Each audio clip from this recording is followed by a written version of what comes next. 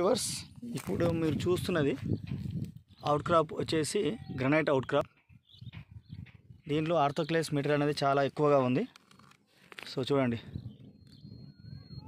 Flesh colour material so దీని కనుక మనం పాలిషింగ్ చేస్తే మంచి కలర్ ఉన్న రాక్స్ వచ్చేస్తాయి. So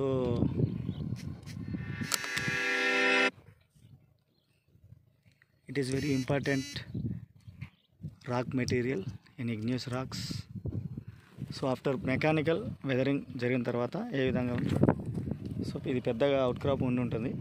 సో ఈ డైయింగ్ ప్లాట్ఫామ్ కట్టడం కోసం వీళ్ళు మొత్తం మొరంలో పెట్టేసి మురంలో పెట్టి తీసేయడం జరిగింది.